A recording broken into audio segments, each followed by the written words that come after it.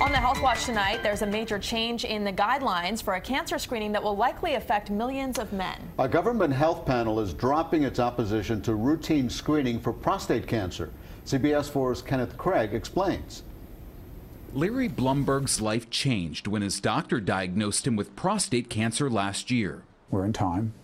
He said, I'm not sure if we would have been in time if we you know, had done this a year or two from now. The 69 year old's cancer was detected after Larry opted to have a PSA blood test, even though he had no symptoms, and the screening was not recommended by the U.S. Preventive Services Task Force. Now, based on the latest research, the group says men 55 to 69 should have a conversation with their doctor and make a decision for themselves. Men can reduce their chance of dying of prostate cancer and reduce their chance of having cancer that spreads throughout their body. These are really important benefits, but they occur in a small number of men. The concern has been that PSA testing results in overdiagnosis and overtreating cancers, which can lead to serious issues like impotence and incontinence.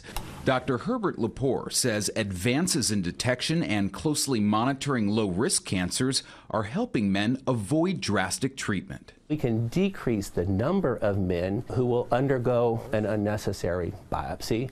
Uh, and we have better tools to really assess the aggressiveness of the cancer. Larry needed surgery to remove his prostate. He's had some side effects, but says they're getting better. The side effects are nothing compared to the fact that, you know, I'm going to live a long life and enjoy my kids and my grandchildren. Larry is cancer free and his PSA is undetectable.